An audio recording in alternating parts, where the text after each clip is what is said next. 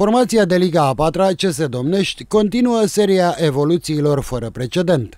După ce s-a calificat în premieră în faza pe regiunea Cupei României, trofeu pe care l-a câștigat în județul Argeș, domnișanii au evoluții de apreciat și în grupa 1 din regiunea 5. În jocul de pe teren propriu, echipa antrenată de Virgil Pădurean și George Petrescu a trecut de chimia Râmnicu Vâlcea cu un neverosimil 4 la 1. A urmat cea de-a doua piatră de încercare și anume jocul din deplasare cu avântul Pielești, câștigătoarea trofeului din județul Dolj.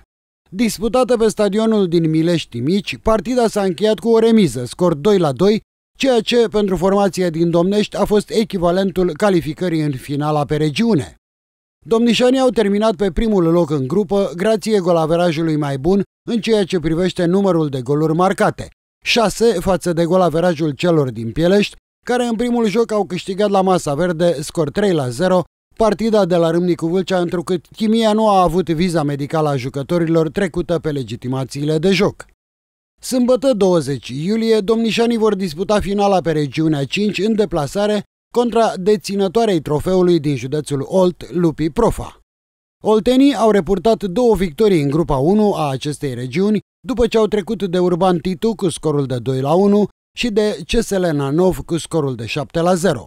Așadar, pe mușceleni îi așteaptă o luptă acerbă în Olt, iar în cazul unui succes, ce se domnește ar mai scrie încă o pagină de istorie pentru fotbalul argeșean.